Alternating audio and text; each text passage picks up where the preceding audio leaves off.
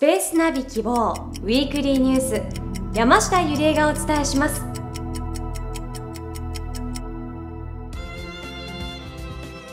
5月12日。ISS に長期滞在中の野口聡一宇宙飛行士はオレック・コトフ宇宙飛行士ティモシー・クリーマー宇宙飛行士とともにソユーズ宇宙船に搭乗。ドッキングポートを変更する移動飛行を行いました。移動後に開いたドッキングポートにはロシアの小型研究モジュール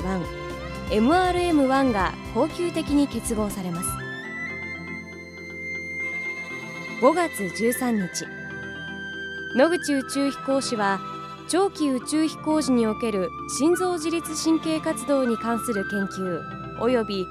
長期宇宙滞在宇宙飛行士の毛髪分析による医学生物学的影響に関する研究に関わる作業を実施しました。この研究は長期にわたり宇宙滞在をする飛行士の健康管理技術の向上に役立てられます。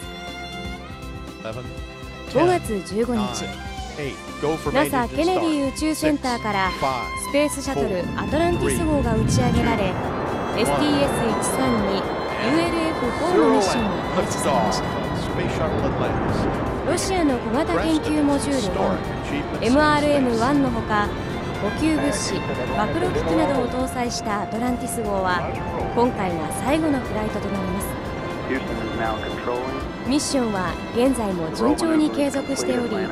5月26日に地上に帰還する予定です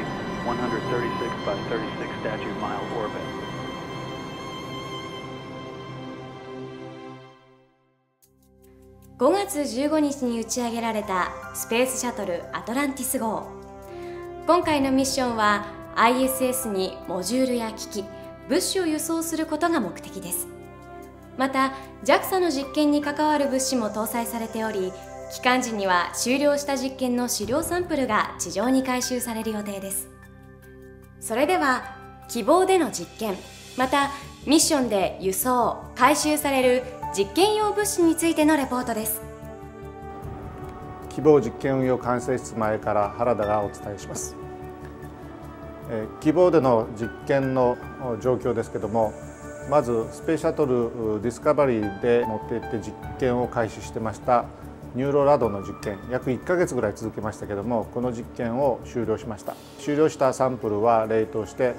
今回のシャトルアトランティス号で地上に持ち帰ります。またマランゴニ対流実験も行っております。これはシャトルがドッキングしていない間に定期的に行っておりこれまでに12回ほどの実験を行っております。順調に行って引き続き実験を継続することにしています。暴露実験については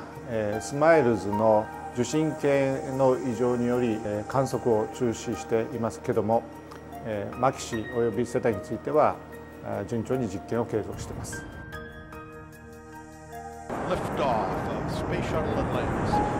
またスペースシャトルアトランティス号は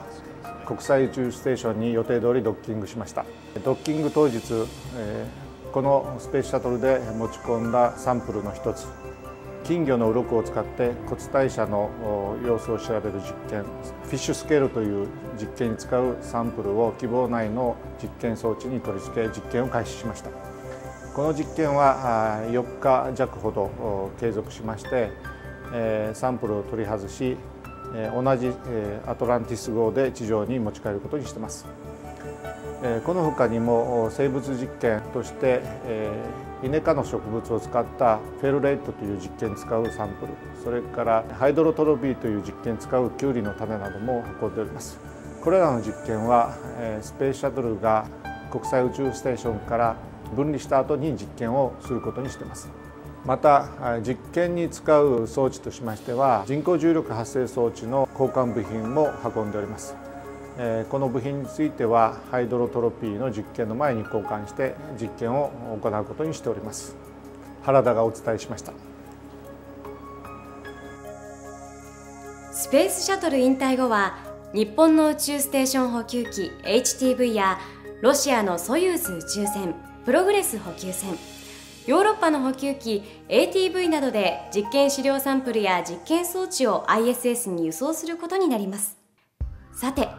今週のピックアップニュースは山崎宇宙飛行士が登場した STS-131-19A のミッションで ISS に輸送し希望日本実験棟で実施された宇宙放射線と微小重力の哺乳類細胞への影響。通称ニューロラド実験について野口宇宙飛行士の解説を交えてご紹介しましょう。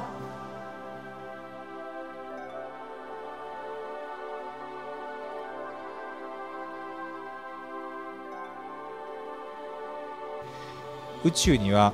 宇宙放射線という放射線が存在します。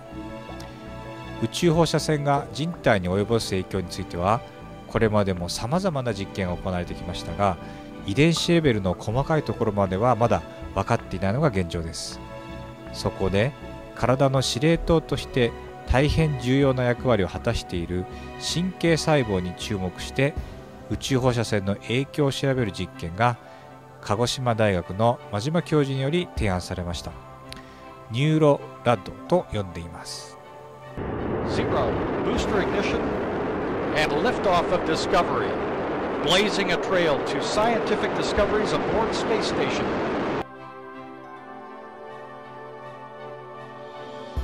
打ち上げシャトルの打ち上げを確かめて、まあ、その時に、まあ、その時はあの、まあ、すごいなと打ち上げがすごいなっていうことでだんだんそのなんか我々の細胞が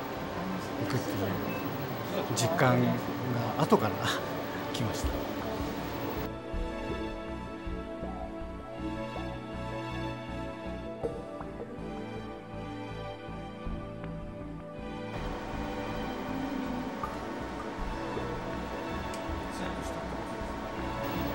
まあ、ずっと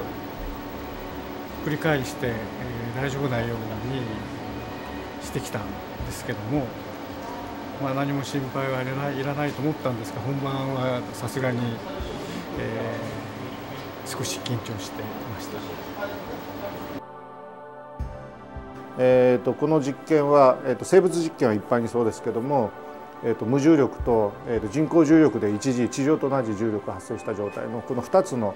実験装置で、えー同時に実験をやるということによって無重力と一時を比較するということでこの一時をスタートして環境制御を始めたところが実験の開始ですね。でまあ、それに先生が立ち会われて、まあ、非常に順調にいったので、まあ、その時は非常に喜んでおられました。これからも頑張ろ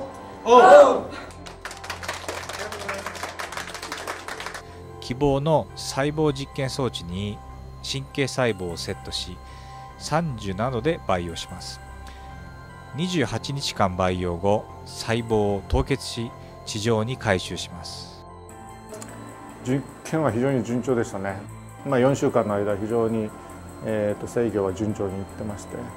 えー問題なく終了してます。う、うんと、まだ完全に喜んでるわけじゃなくてまだ買ってちゃんとサンプルが返ってきて、まあ、一安心っていうことになるんではないかなと思います。宇宙放射線の影響を調べることは将来人類が宇宙に長期滞在したり